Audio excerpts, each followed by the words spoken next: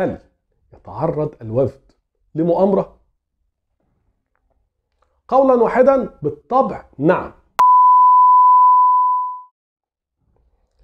مساء الخير. ملاحظات حول الانتخابات. يمكن أنا بقالي فترة طويلة دايما بحاول أكون قريب من الانتخابات قدر المستطاع. ودي دعوة لكل الشباب اللي مهتمين بالشأن العام أو بالسياسة إن هو لو حابب يقرأ المشهد كويس لازم يقرب من الاستحقاق الانتخابي. أنا بقالي فترة طويلة جدا بحاول أقرب وبيكون لي دور مثلا مندوب في لجنة أو وكيل لمرشح أو متابع ويمكن في الانتخابات الأخيرة انتخابات الرئاسة 24 كنت متابع داخلي تابع لأحد المؤسسات المهمة اللي كان لها طبعا صلاحية متابعة الانتخابات من الهيئة الوطنية للانتخابات. طيب كان في بعض الملاحظات أنا لاحظتها وحابب إن أنا أتشارك معاكم فيها.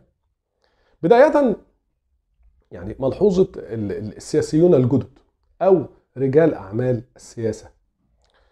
يمكن في الانتخابات الأخيرة أو في أي استحقاق سياسي أو أي event سياسي في الفترة الأخيرة ممكن تلاقي كده وسط الحشود دخلت سيارة فارهة نزل منها شاب كده وسيم بدلة شيك نضاره شمس فخمة ولا يخلو الأمر من كام guard حواليه مين ده يقول لك ده السياسي فلان الفلاني أو عضو مجلس النواب فلان الفلاني وده أمين مش عارف إيه في حزب كذا و مناصب سياسية متعددة وهو أبعد ما يكون عن العمل السياسي. الناس دي كرجال أعمال بينزلوا الحقل السياسي طبعا عشان يخدموا على بعض المصالح ليهم في شغلهم وما عنديش مشكلة إن رجال الأعمال ينزلوا مجال العمل السياسي بس هو بينزل برجالته.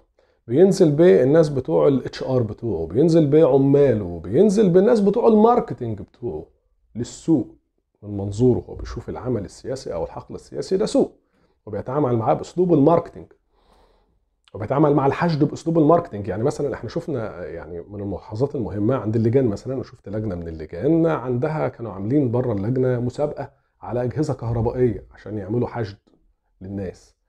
وفي واحدة فازت بخلاط. والناس جم تاني يوم عشان يصوتوا علشان يطلعوا يخشوا السحب.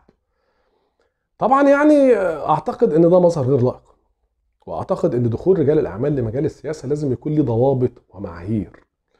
ويمكن أنا أنا ملاحظ إن الدولة برضو لمحة الموضوع ده كويس وانشات بعض الكيانات الشبابية المهمة جدا زي مثلا على سبيل المثال تنسيقية شباب الأحزاب والسياسيين علشان تمكن بعض الشباب وتدخلهم المجال السياسي لأن هم ما كانوش هيعرفوا يواجهوا السياسيين الجدد دول بدون دعم من الدولة من النقط برضو الجديرة بالاهتمام آه الباشمهندس حازم عمر كان مفاجأة كبيرة جدا في الوسط السياسي بحصوله على المركز الثاني في هذه الانتخابات بعد الرئيس السيسي.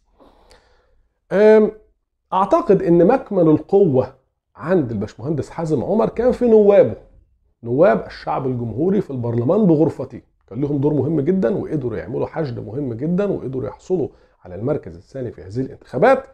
وأعتقد إن هم ليهم يعني الشعب الجمهوري هتشوفوه الفترة اللي جاية بقوة. من النقط برضو الجديرة بالاهتمام آه تواجد السيد فريد زهران. طبعا السيد فريد زهران راجل سياسي متمرس وقديم وأي حد بيتابع الشأن العام أو بيتابع العمل السياسي عارف كويس جدا فريد زهران. ولكن مكمن قوة فريد زهران الحقيقي كان في حملته الانتخابية. حملة انتخابية فيها شباب واعد زي الورد.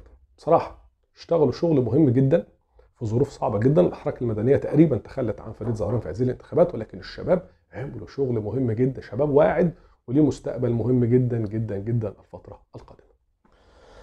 نقطة برضو جديرة بالاهتمام أداء الوفد. يعني طبعا حزب الوفد حل رابعا في هذه الانتخابات. قدر يحصد تقريبا 900 ألف صوت لما يتخطى المليون. نتيجة تطرح تساؤل مهم جدا. هل يتعرض الوفد لمؤامرة؟ قولا واحدا بالطبع نعم. أنا داخل الوفد. واليومين دول يعني هتلاقي ناس كتير جدا بتكلمك عن مؤامرة ضخمة جدا بتحاك ضد حزب الوفد.